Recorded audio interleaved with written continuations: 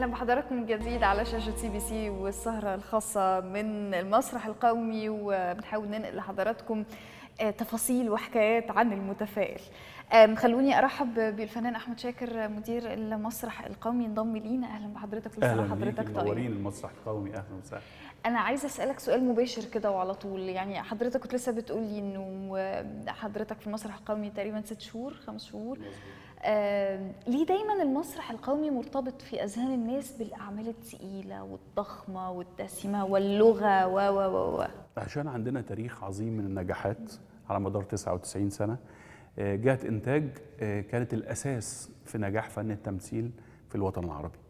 آه، هم ناس على فكرة ما كانوش ليهم ارتباط بالدولة كانوا عبارة عن ناس عاديين أفراد عاديين منهم الغني ومنهم الفقير. كان فن التمثيل في بدايات القرن الناس بتبص له على إن هو مهنة أي كلام.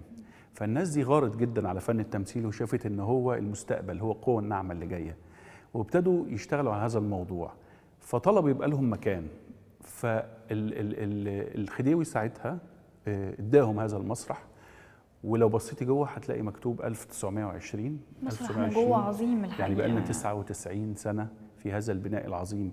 ولو بصينا كمان على ال design اللي معمول ال design الإسلامي ده ده تجديد من طلعت باشا حرب سنة 35 وقت ما ات- ما اتعملت الفرقة الفنية الفرقة القومية للمسرح القومي عشان يتقال إن الفن شيء مرتبط بالأديان مرتبط بالأخلاق. ولذلك دايما تاريخ المسرح القومي تاريخ مشرف.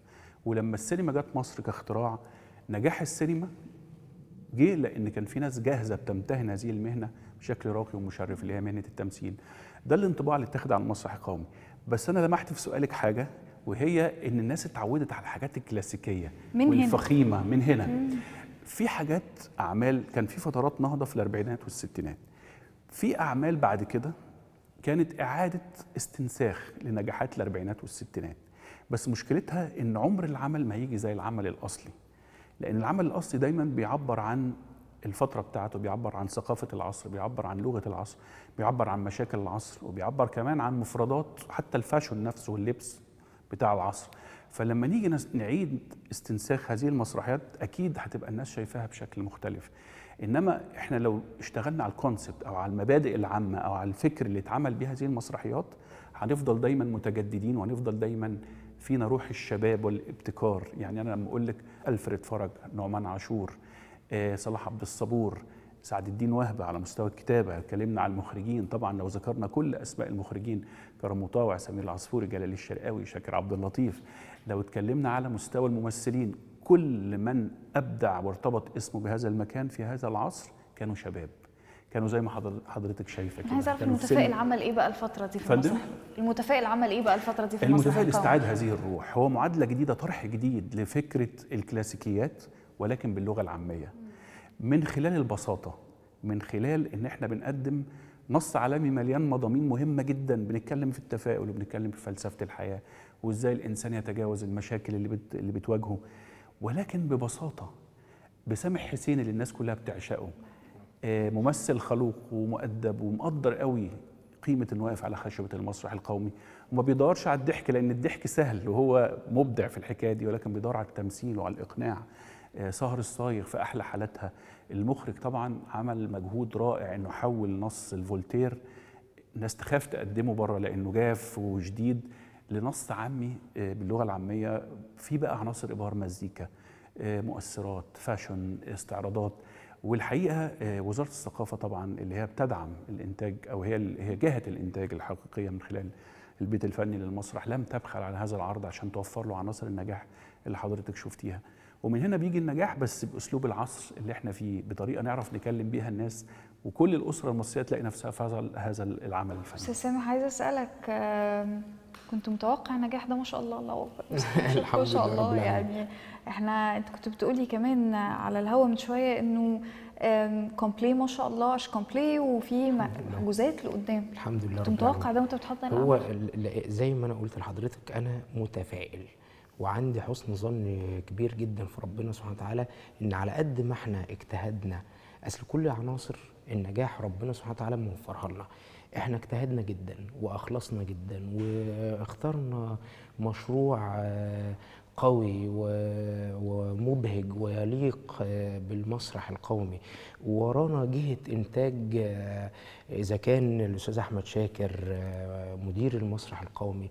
زي ما حضرتك شايفة يعني بصي الوقت قد إيه وهو قاعد فوق قاعد شغال في المكتب وهو و... ومن الصبح قاعد هنا لو عاوزنا أي حاجة بنكلمه في أي وقت. إدارة واعية لأنه كمان هو ممثل فنان فهو إدارة واعية عارف إيه المشاكل اللي ممكن اللي أنا بقولها؟ هو عارفها مش هيبقى مش هيقول إن أنا مش مستوعبها. بتجنى على حاجة يعني. والحمد لله ما فيش مشاكل خالص. إيه، إذا كان بيت الفن المسرح أو وزارة الثقافة من أول آه، سيادة الوزيرة يعني دايما على اتصال آه، الأستاذ أحمد وبيا وباسلام تطمن إيه الأخبار. فكل الدعم هم بيأملوا فينا ويا رب نبقى عند حسن ظنهم إن إحنا نعمل حاجة للمسرح القومي زي ما الأستاذة سميحة أيوب جت وشرفتنا فوق راسنا وقالت أنا بشهد آه، افتتاح المسرح القومي مش افتتاح المتفائل. قالت كأنه افتتاح جديد. كأنه افتتاح جديد للمسرح دي القومي. جملة آه، قوية جدا. وعلقت على اللي حضرتك بتقوليه إن الأسر موجودة. ده نادر لما تلاقيه في في المسرح القومي أسر وشباب صغير موجود. آه، وعلقت على إن إحنا ارش complete. وجت وقالت لي أنا جاية لما أحمد كلمني. هي بقى إيه يعني؟ يعني. ست يعني أستاذتنا كلنا. طبعا. فقالت طبعا. فقالت لما أحمد كلمني عشان أجي أتفرج يا سامح أنا كنت جاية ما ينفعش أكسفه لأن ده ابني. بس كنت جاية وأنا حاطة إيدي على قلبي. طب ما هو سامح حسين وفي المسرح القومي وفولتير لكن انت طلعت عملاق من عم... من عمالقة المسرح القومي. قالتها أنا قلت لها يا ريتني كنت معايا في فيديو ولا حاجة. طبعا إحنا هناخده طبعا. آه، دي جملة ف- قوية جدا آه. فالحمد لله رب العالمين. ده فضل ينسب طبعا اولا وأخيرا ربنا سبحانه وتعالى ثم لكل الكتيبة اللي إحنا شغالين وهم في ظهرنا. كتيبة المسرح القومي على رأسها الأستاذ أحمد. وكتيبه وزارة الثقافة كلها على رأسها. أنا عايزة أسأل سؤال ممكن يبقى سي... ممكن يبان ساذج ما أعرفش بس أنا عمالة بفكر إنه السينما وليها مردود معين الدراما وليها مردود معين مجهودهم أقل آه، مكاسبهم أعتقد أكتر. ليه المسرح؟ بحب المسرح أنا دراستي مسرح وحياتي مسرح وهو ده أبو الفنون يعني. دايما أقول إن لو مفيش مسرح قوي مفيش فن قوي. زي ما الأستاذ أحمد قال هو السينما الاختراع ده لما جه عندنا كان ظهر وبقوة لأن الأساس موجود كان المسرح. كان جاهز. آه كان المسرح هو أهم حاجة. في نقطة كمان لو يسمح لي سامح؟ طبعاً. أضيفها فكرة الروح السينما أو التلفزيون إحنا بنعمل إيه؟ إحنا بنعمل rolling أو أكشن وبعدين بنشحن نفسنا بنعيش اللحظة. بعدين بعد ما بيخلص الشوط خلاص بنفصل. وممكن حد فينا يروح يعمل مشوار ويرجع ويكمل تصوير. المسرح ما فيهوش الحكاية دي خالص. المسرح هو تراك واحد. حالة من الشحن المعنوي والطاقة والروح اللي لازم نحافظ عليها من أول وإحنا بنقرأ المسرحية كنص في صالة البروفات لحد آخر ليلة عرض. وده شيء صعب جدا إنه يتحقق. ولحسن الحظ أنا بتكلم لما الواحد يعني ربنا بيوفقه ويشتغل مع مجموعة بهذا الرقي زي الأستاذ سامح أستاذة سهر آه، أستاذ يوسف إسماعيل آه، أساتذة بقى طبعا اللي في المسرحية كلهم ما فيش يوم سمعنا إن في أي مشكلة في الكواليس.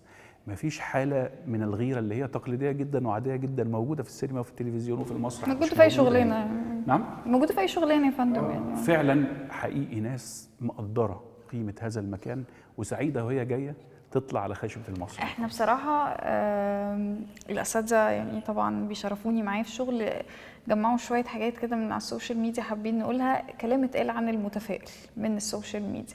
لأن إحنا طبعا كل الناس دلوقتي بتهتم بال social media لأن هي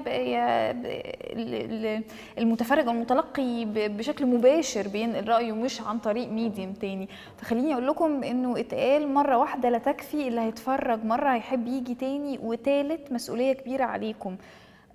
هل ممكن تضيفوا حاجات جديدة بعد كل عرض؟ يعني هل العرض بيختار بي- بيختلف عن العرض الآخر؟ آه لا إحنا ماشيين على آه يعني فريم معين وماشيين فيه انضباط شديد جدا حتى لو حضرتك النهارده هتلاقي الساعة 9 ده بالثانية حقيقي. بالثانية الستارة آه، بتتفتح. الستاره بتتفتح آه، شغالين دايما آه، للأفضل. مش آه، مش هنشيله ونحطه ونعمل لا لا لا لا, لا, ما عندناش الكلام ده. إحنا ارتضينا إحنا تسع شهور بروفات. ارتضينا إن العرض ده تمام يلا بينا هو ده. ممكن نشيل حاجة يبقى فيها مثلا إيه إطالة شوية. يبقى فيها الافيه مثلا أنا قلت افيه الجمهور ما ضحكش عليه مرة واثنين وثلاثه فخلاص أقوم شايله. وندور على حاجة تانية. لكن في في قضبان طريق يعني قضبان قطر إحنا ماشيين في انضباط شديد مش من هواة أنا شخصيا مش من هواة إن أنا أقعد أغير وأعمل. لأن أنا لو أنا قادر على ده ممكن يبقى اللي قدامي مش قادر فيقوم الدنيا كلها تبوظ. إحنا بنشتغل علشان الجمهور ثم علشاننا مش علشاننا إحنا بس وننسى الجمهور. خليني أقول لكم حاجة تانية. اتقالت المتفائل حسستنا إن عندنا مسرح بجد. شكرا سامي حسين وسهر الصايغ. عايزين دايما أعمالنا المسرحية تكون على نفس المستوى ده. أعتقد الكلام ده ليك يا أستاذ الحمد لله رب العالمين. هو عهد عليا وإن شاء الله وعد للجمهور المصري والعربي. آه، وده من ساعة الحقيقة ما أنا توليت أمانة مسؤولية مدير عام المسرح القومي. أنا شفت المسرح ده زمان وعشته مع والدي في أعظم الكلاسيكيات. هو أنا شفته هو بيستلم جائزه الدولة وسام العلوم والفنون من رئيس السادات على آه، مسرحية عودة الغائب في المسرح القومي للأستاذ محمود ياسين طبعا. شفت آه، ربع العدوية الاستاذه سميحة أيوب. فروشتة النجاح أو أو زي ما بيقولوا آه، تركيبة النجاح مش صعبة. ولكن هي عايزة قدر كبير جدا من التفاني قدر كبير جدا من الاهتمام الانضباط الروح الود الحب. المعاني دي لو اترجمت في عمل لازم هينجح. والحقيقة الكلام اللي اتقال على ال social media يعني يعني ده في كلام أحلى لسه. الحمد لله. مسرحية المتفائل سهرة عائلية محترمة ومفتقدين السهرات اللي بتناسب كل العيلة. ويمكن ده الكلام اللي أنا كنت بقوله لحضرتك. إنه مناسب كل العيلة. بتحضروا حاجة تانية على المسرح أنا قبل بس ما نختم موضوع ال social media ده أنا عايز بس أوجه شكر كبير جدا لأن أنا شايف إن من أهم الحاجات اللي اتقالت على ال social media كلمة لمعالي سفير المملكة العربية السعودية في مصر السفير أسامة النقلي اللي جه بدعوة مني وأنا الحقيقة كنت يعني حابب جدا إن هو يجي ويتفرج على المسرح القومي ويتفرج على البناء التاريخي ده آه، لأنه هو الحقيقة ما كانش جاء قبل كده. وكنت مراهن على مسرحية المتفائل إن دي مسرحية أنا أقدر أعزم آه، بقلب كده معالي السفير وكل ال- الشخصيات العامة وكل الحقيقة الناس اللي تيجي تشرفنا لأن ده عمل يليق بالقومي. الحقيقة رد الفعل كان مفاجأة. لما معالي السفير آه، ينبهر بهذا المكان اللي عمره 99 سنة. أي حد لازم ينبهر بهذا المكان. يبقى أثر. أثر. ده خلاص. آه. لم لما يتكلم عن مسرحية المتفائل وأسرته بمنتهى الحب والود وال- وم- ومش بس كده يطلع على خشبة المسرح بعد العرض ويشكرني ويشكر فريق العمل إن إحنا اتحنا ليه فرصة إنه يشاهد هذا العمل الراقي في هذا المسرح العريق. ويختتم ده على ال social media بأنه يطلب, يطلب صور من العرض أبعتها له عشان يكتب على حسابه في تويتر وفيسبوك وإنستجرام والصفحة الرسمية لسفارة المملكة العربية السعودية عن مسرحية المتفائل الله. وعن إعجابه بيها آه، آه، كنت عايزة أسألك يا أستاذ سامح كنت أسأل طب خليني أسألك الأول يا أستاذ أحمد بتحضروا حاجة جديدة ولا عادة بتستنوا لغاية ما العرض المسرحي يخلص بشكل كامل وبعدين تبتدوا تشتغلوا على عرض جديد يعني في المسرح القومي؟ الحمد لله من ساعة ما أنا جيت الحمد لله بقى في تفاؤل بقى في حالة جميلة إيجابية بصيت لقيت ممثلين كتير نجوم ونفسهم عينيهم رجعت تاني للمسرح القومي عايزين يشتغلوا على خشبته بتواصلوا معايا شخصيا على مكتبي في 28 نص.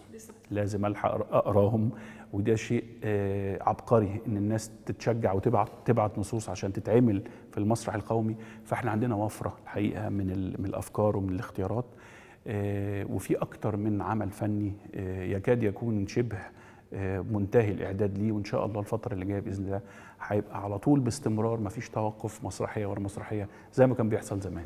أستاذ سامح قولي بعد المتفائل في إيه؟ إحنا يعني إحنا في المتفائل. في خطة كده للمتفائل آه، إن شاء الله بنأمل إنها تحصل إن شاء الله. إن إحنا- عايزينهم معانا شوية كتير. سيبوا لنا طب في السينما شوية والدراما. لا وإن إحنا كمان بأمر الله لازم نروح آه، للجمهور العظيم الجمهور اسكندرية.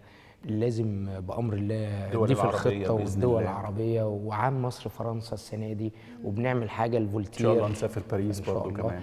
آه، ده بالنسبة للمسرح بأمر الله. آه، أنا والسينما بحضر لفيلم كده ورق آه، لطيف جدا إن شاء الله داخل أصوره إن شاء الله في أكتوبر علشان يبقى في أجازة نص السنة إن شاء الله فيلم سينما. طبعا نورتوني وألف مبروك يا أستاذ سامح. العرض مشرف والعرض جميل والعرض قريب من القلب يناسب كل الأعمار ومحترم. وكوميدي وميوزيكال ويعني الحقيقة حاجة حاجة حلوة حاجة مفرحة. إحنا بنشكركم جدا وعلشان الدايرة تكتمل إن إحنا لازم فعلا ما نبقاش إحنا شغالين في الظل. آه، وجود الإعلام بجانب مسرح الدولة ده ده حاجة مهمة قوي قوي قوي يعني. فاحنا اللي بنشكركم. إحنا بنشكركم لوجودكم النهارده وتسليط الضوء على العرض الجميل بشكرك بشكرك. ده شرف لينا يعني وكل سنة وحضراتكم بألف خير. حضرتك طيب. مشاهدينا الكرام كل عام وحضراتكم بألف خير. خلصت سهرتنا النهارده. أكيد لينا سهرات أخرى كل سنة وحضراتكم بألف خير. إلى اللقاء.